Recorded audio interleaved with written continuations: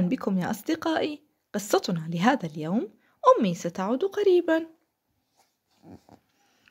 أم ليلى تستعد للسفر سألتها ليلى متى ستعودين ثانية يا أمي؟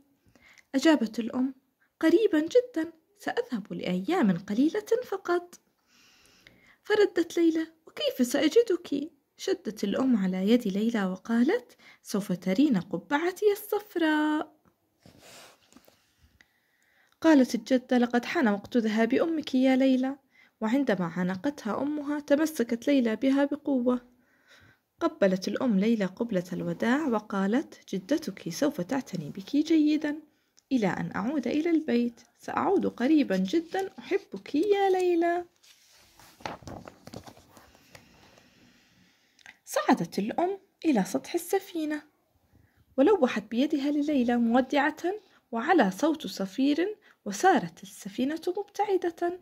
ظلت ليلى تلوح لأمها إلى أن أصبحت قبة قبعة الأم بقعة صفراء صغيرة مثل ورقة مثل ورقة الزهرة. هذه هي أمها.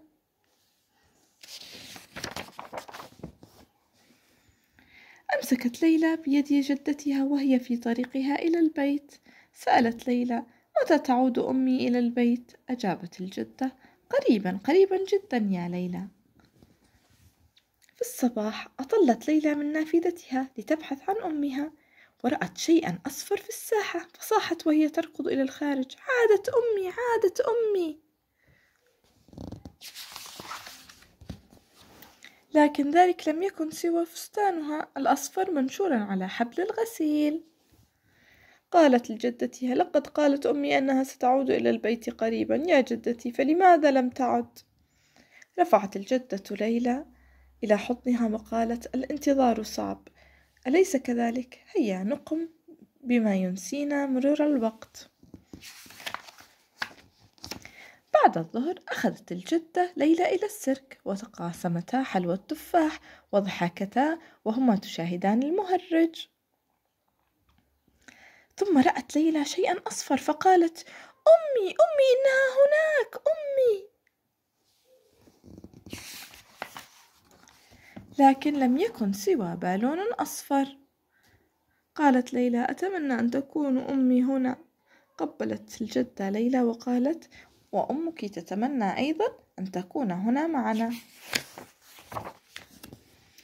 وفي اليوم التالي ركضت ليلى على رمال الشاطئ ولعبت برشاش الأمواج بينما كانت الجدة تبحث عن الأصداف. وبعدها رأت ليلى شيئا أصفر فصاحت لقد رأيتها يا جدتي رأيتها رأيتها إنها أمي. لكن ذلك لم يكن سوى مظلة صفراء براقة. وبينما كانت الجدة تلفها بمنشفة قالت ليلى إنني أفتقد أمي. أجابت الجدة وهي ترفع صدفة منقطة إلى أذن ليلى. أعرف استمعي يا ليلى استمعي إلى همس البحر. قالت ليلى إنه يبدو حزينا يا جدتي. قالت الجدة ربما كانت الهمسات تعبر عن اشتياق أمك إليك. وفي طريق عودتهما إلى البيت رأت ليلى شيئا أصفر وسط المتنزه. فصاحت أمي هناك أمي هناك ها هي أمي ها هي.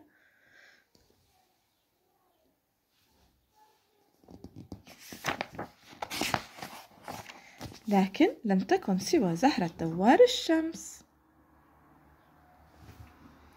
بدأت ليلى تبكي وقالت أعتقد أن أمي لن تعود إلى البيت أبدا. قالت الجدة بحنان بل ستعود ستكون هنا قريبا.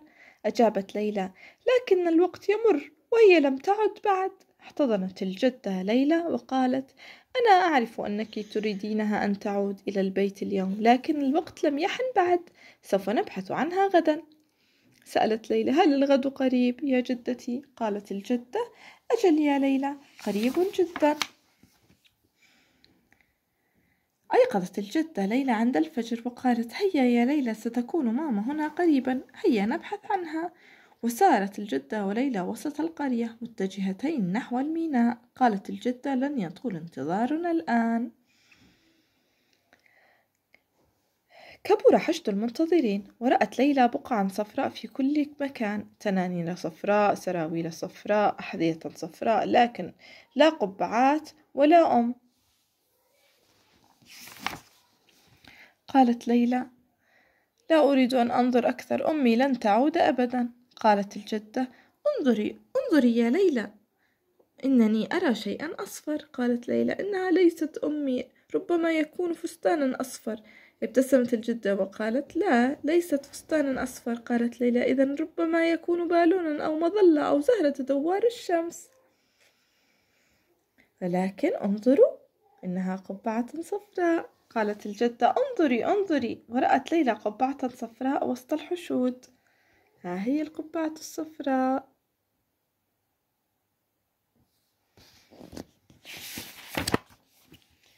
ماما لقد عدت يا أمي. ركضت ليلى نحو أمها وقفزت لتعانقها بشوق.